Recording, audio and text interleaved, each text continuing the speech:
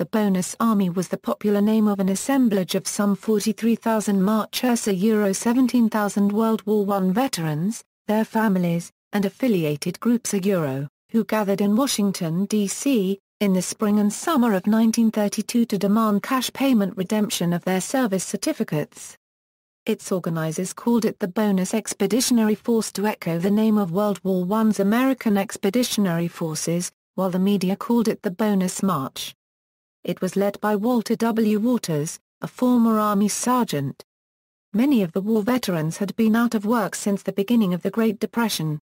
The World War Adjusted Compensation Act of 1924 had awarded them bonuses in the form of certificate they could not redeem until 1945. Each service certificate, issued to a qualified veteran soldier, bore a face value equal to the soldier's promised payment plus compound interest. The principal demand of the bonus army was the immediate cash payment of their certificates. Retired Marine Corps Major General Smedley Butler, one of the most popular military figures of the time, visited their camp to back the effort and encourage them.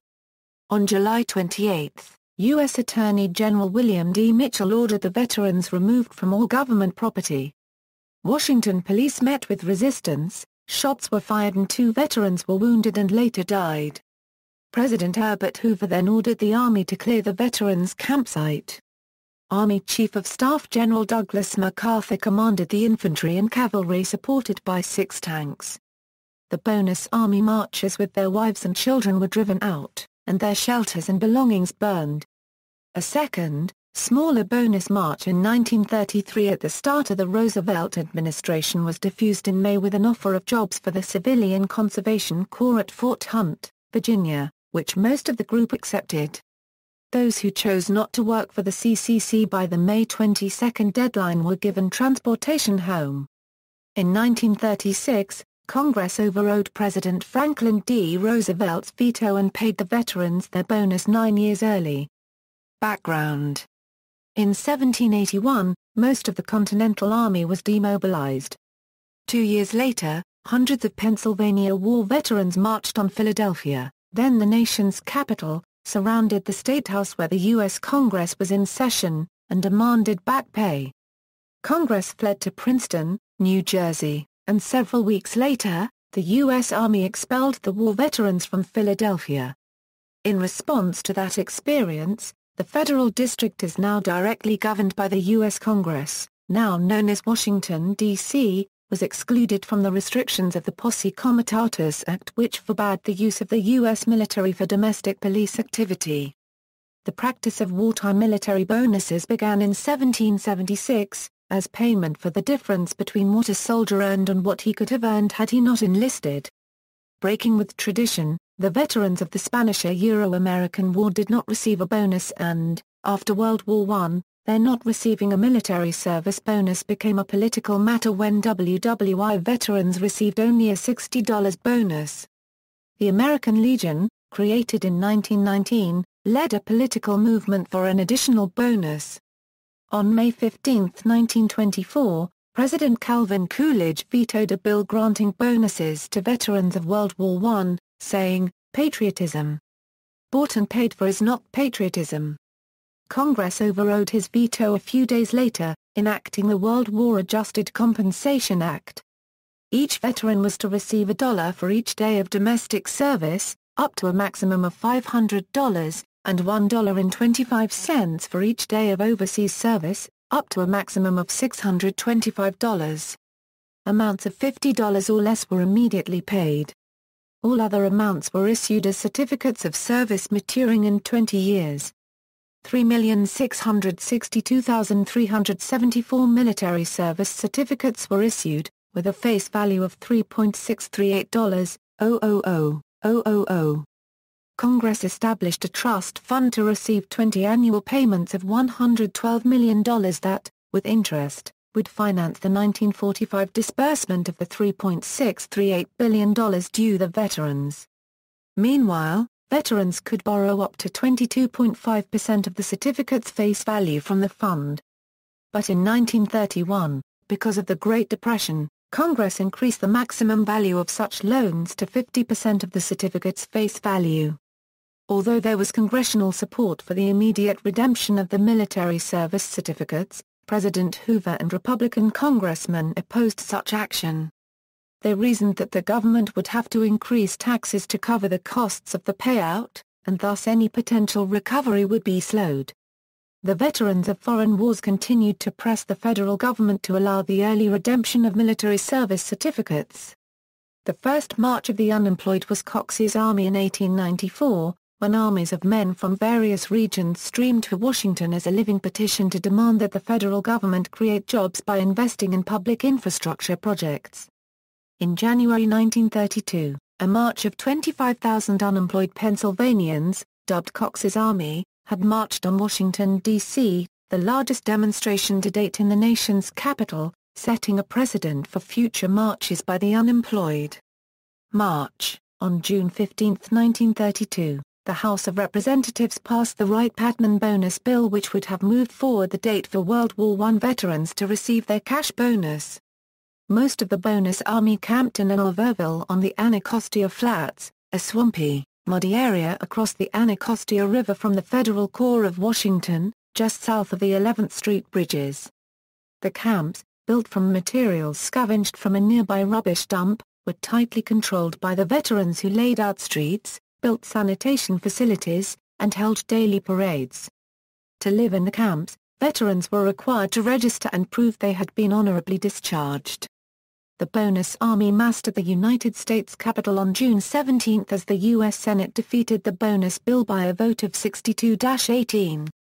Police shooting, the marchers remained at their campsite waiting for President Hoover to act. On July 28, 1932, Attorney General William D. Mitchell ordered the police to remove the bonus Army veterans from their camp. When the veterans moved back into it, police drew their revolvers and shot at the veterans, two of whom, William Hushka and Eric Carlson, died later. William Hushka was an immigrant to the United States from Lithuania. When the U.S. entered World War I in 1917, he sold his butcher shop in St. Louis, Missouri and joined the United States Army. After the war he lived in Chicago.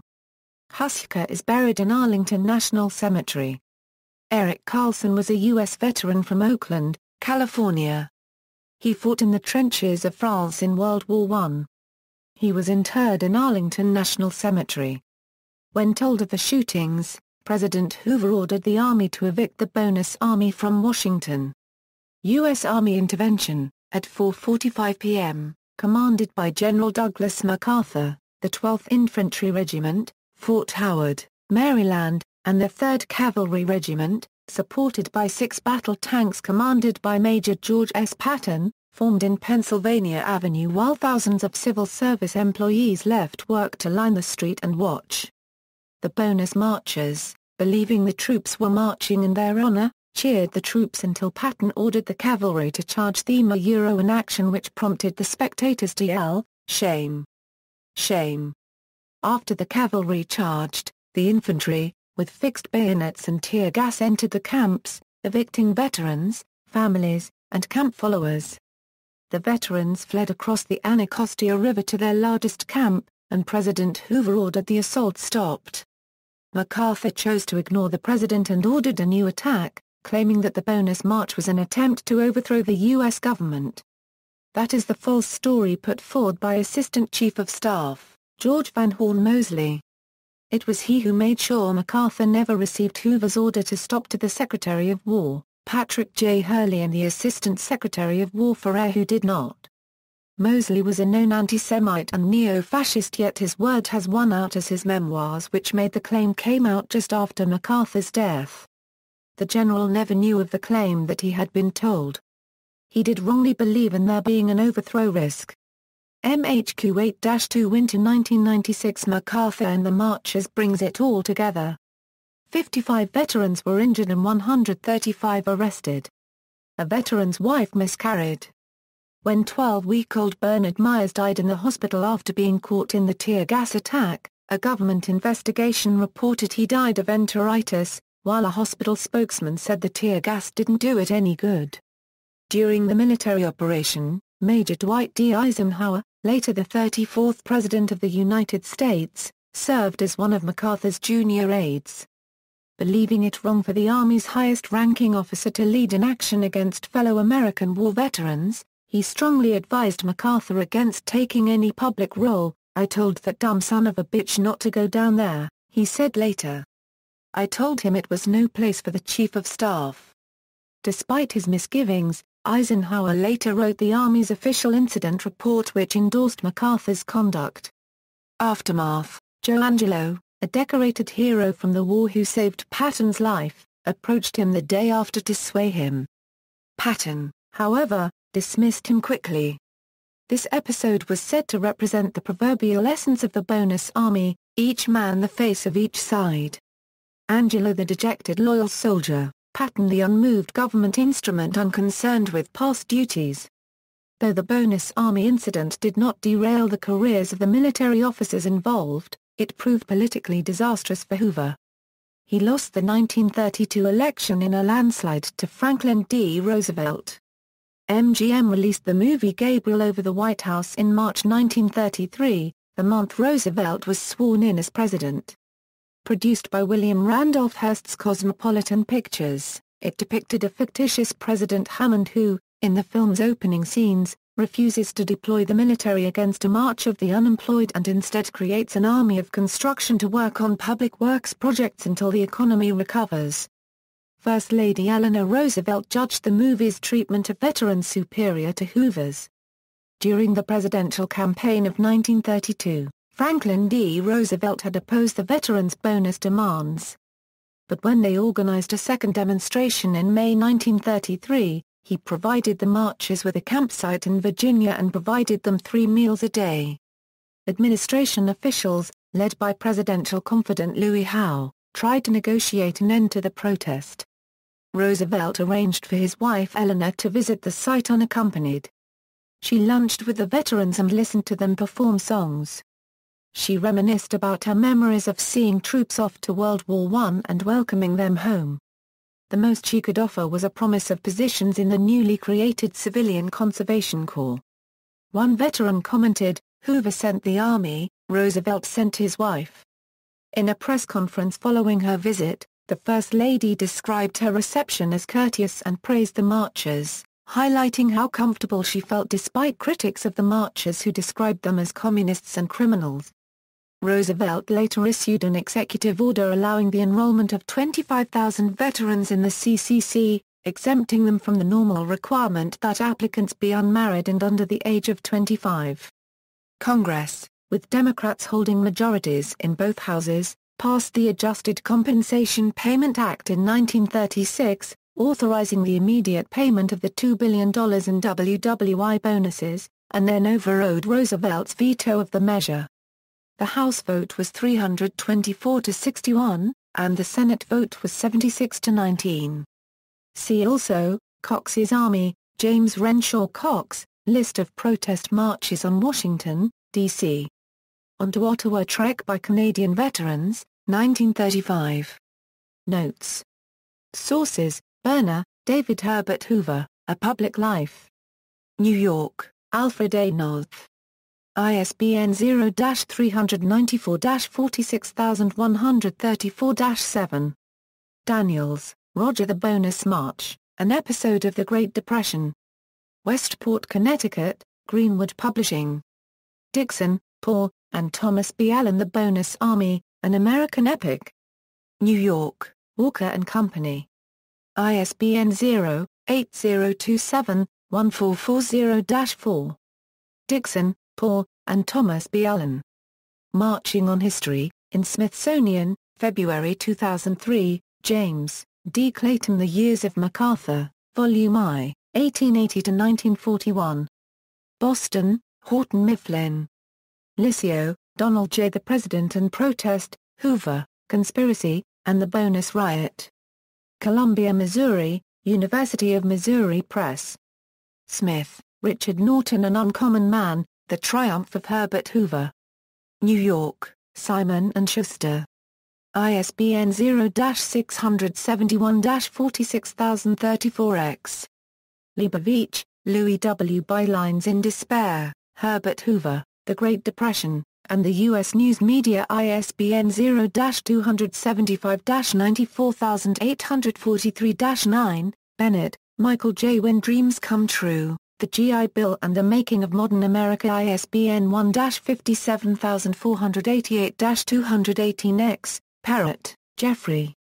MacArthur and the Marchers in MHQ Vol 8 No. 2 American Historical Publication, Incorporated.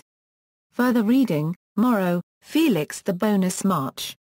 International Pamphlets No. 31. New York, International Publishers. Ortiz, Stephen A. 2006. Rethinking the Bonus March, Federal Bonus Policy, The Veterans of Foreign Wars, and the Origins of a Protest Movement.